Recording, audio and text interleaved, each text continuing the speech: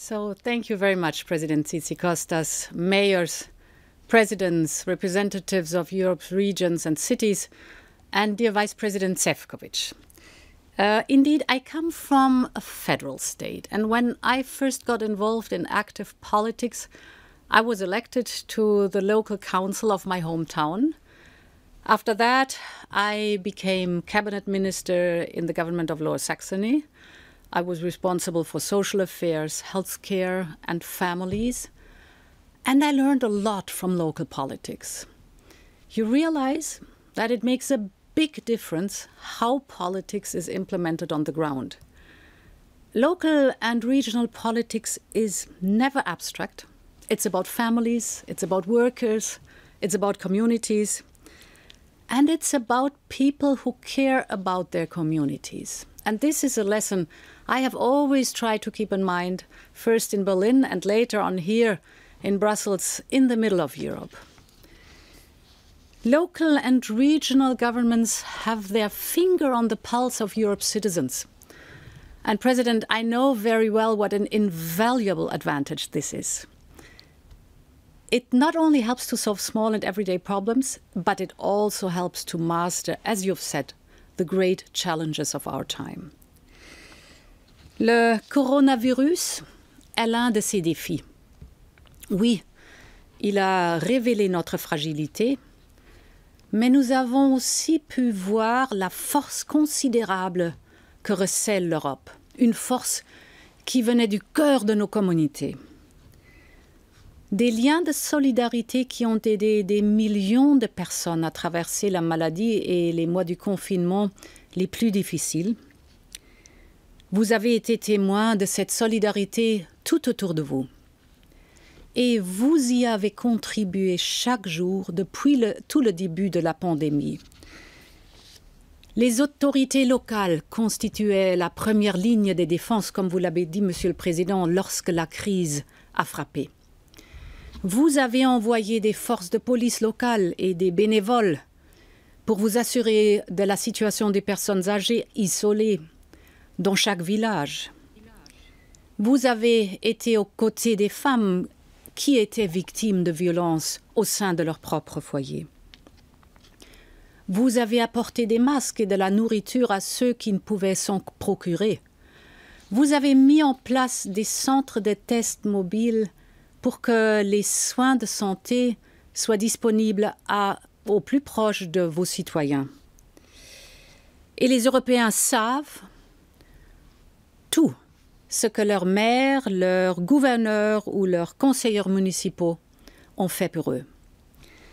Cela apparaît clairement dans le baromètre que vous présentez aujourd'hui, Monsieur le Président. Et vous continuez d'être les institutions dans lesquelles les citoyens de notre Union ont le plus confiance. Votre action a permis à vos administrés de sentir qu'ils n'étaient pas seuls même quand ils ne pouvaient pas sortir de chez eux. But I also know that sometimes you have felt alone. You have felt that you weren't receiving the support that you need to help your people. Yes, this crisis has tested our union's cohesion. And some regions, regions were hit harder or earlier, not all countries had the same financial strength. And earlier this year, we all felt the risk that some parts of our union would recover at a slower pace, that they would stay behind, that they would start drifting apart. We saw how fragile our achievements can be. But we have acted. Europe has acted. And indeed, this summer we agreed on a revamped EU budget and a recovery plan that we call Next Generation EU. 1.8 trillion euros, worth 13% of our union's national income. And with Next Generation EU, we want to give all member states a fair chance to overcome the crisis and to modernize. And regions and cities will be at the core of Next Generation EU. part of the funding will directly address the difficult situation that you are facing now. We call it REACT EU, Recovery Assistance for Cohesion and the Territories. It will be available in the next two years to finance employment subsidies or short time work schemes or to provide liquidity to SMEs. And this will help save thousands of businesses and millions of jobs throughout our union. The same goes for our health systems. We all know that the quality of healthcare varies widely across our union. But all European citizens have the same right to health. Next Generation EU's resources will therefore target the resilience of our health systems. The European funds will enable investments in new hospitals, better equipment, and a stronger healthcare system, and not only in the big cities, but also in more remote regions. Additionally, Next Generation EU looks far beyond crisis response. No administration should have to choose between responding to a crisis and investing in the future. Next Generation EU will mend our social fabric and repair balance sheets across Europe. And while we're doing this, we press fast forward towards a green, a digital, and a resilient future. We want to use these investments not only to restart the economy, we also want to use them to improve the air we breathe, in our cities, or to help small and medium enterprises take up the digital solutions. And for all this, local administrations must be in the driving seat. Ich finde, In diesem Jahr haben wir gemeinsam eine sehr gute Zusammenarbeit aufgebaut, unter schwierigen Umständen, ohne Frage. Und in diesen Wochen haben wir auch eine sehr klare Botschaft an die Regierungen unserer Mitgliedstaaten gesandt. Wir finden, dass Städte und Regionen von Beginn an in die Konzeption der nationalen Aufbaupläne einbezogen werden sollten. Sie können wertvolle Beiträge leisten, Die Hauptstädte sollten sich mit ihnen abstimmen. Denn wir alle wissen, die lokalen Verwaltungen sind diejenigen, die vor Ort die europäischen Projekte mit Leben füllen. Sie haben es ja gerade auch so dargestellt, Herr Präsident, das war zu greifen. Und damit tragen Sie auch eine große Verantwortung. Aber ich weiß, dass Sie das gut meistern können. Der Erfolg von Next Generation EU hängt von jeder und von jedem von Ihnen ab. Er hängt ab von ihrer Entschlossenheit, von ihrer Fähigkeit, ihre Stadt und ihre Region neu zu erfinden als einen grüneren und einen gesünderen Ort. Der Erfolg hängt ab von rund einer Million Kommunalverantwortlichen in Europa. So viel hängt davon ab. One third of the 750 billion investment from Next Generation EU will finance our European Green Deal objectives. New resources will be available for your green plans. The resources will come from Europe, but the ideas must come from you. For instance, new resources for 1 million electric charging points across Europe, or resources, as you said, President, to finance a just transition in the regions that have to take a bigger leap. It's the future of our territories that is at stake. When member states will draw their just transition plans, you should be part of the conversation. And let me give you an example. Next Generation EU will only succeed if we play as a team. So, in two days from now, we will launch the renovation wave. We want to make public buildings and private homes more energy efficient and more comfortable all across Europe. We all know that our buildings are responsible for 40% of our energy consumption. and some buildings are already being renovated or retrofitted. But at the current pace, it would take more than a century to bring emissions from our buildings to zeros. So we must speed up. And the good news is, by doing so, we can create new jobs in the construction sector and way beyond. So the renovation wave will focus specifically on schools, on hospitals, on social housing, for which local governments are usually responsible. So it will be up to you to bring the renovation wave into our cities and into our regions.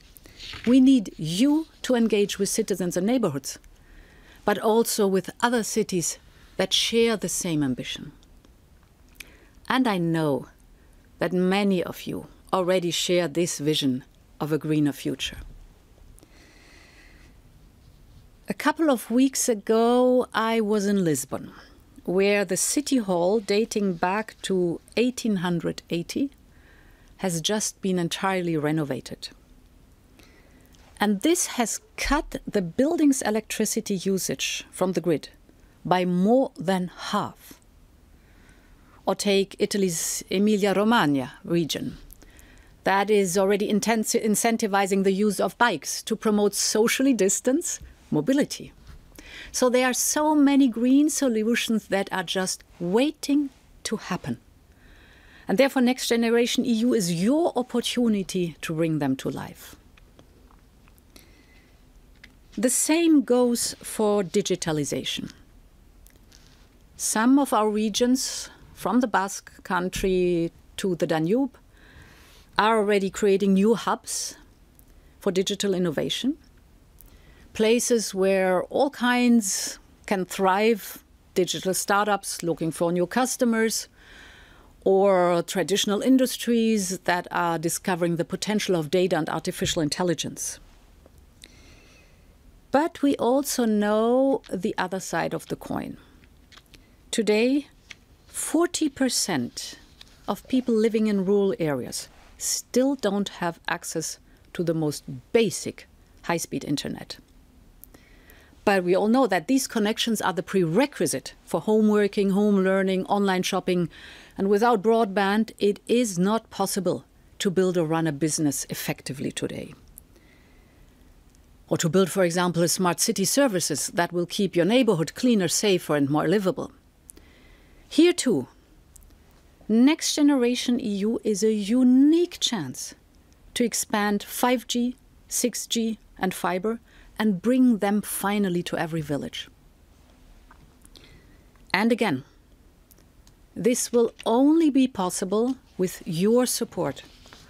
Your support to prioritize investment and coordinate public works on the ground. We want to listen to you. We want to hear from you what the best solutions are. Solutions on access to infrastructure information, or speedy permitting and single administrative contact points. We want to boost digital infrastructure, expand digital public services, and give the entrepreneurs the digital skills they need to succeed. We will create a European cloud and neutral data spaces because we think companies and universities should be able to share their data safely and to access them. This is an enormous wealth in these data. But we need you to promote the real hubs where academia meets businesses, tech meets manufacturing, where innovation is born. So much of this lies in your hands. And basically, you can be a front runner and a model for others. Europe will only be successful in the digital age if its cities and regions succeed. And what I am asking from you today is more than a list of projects and initiatives. It is a vision. And, President, you started to give it to me. A vision for the future tailored for your territories. A vision what cities and territories you want to leave to your children I know there are a lot of ideas out there. A Next Generation EU is here for them. So it's your moment, it is your opportunity, and it is our shared responsibility. Long live Europe. Thank you.